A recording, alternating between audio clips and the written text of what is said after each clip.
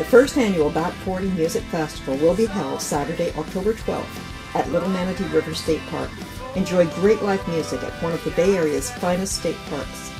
Featured bands include Burning Tree, Head State, Shut Up Lita, Halibut, Slag Band, Walking Giants, Dean Johansson, and Joe B. All proceeds from the Back 40 Music Festival benefit the park's nonprofit organization, Friends of the Little Manatee River. Find out more and see ticket prices, please visit www.daddykooltickets.com.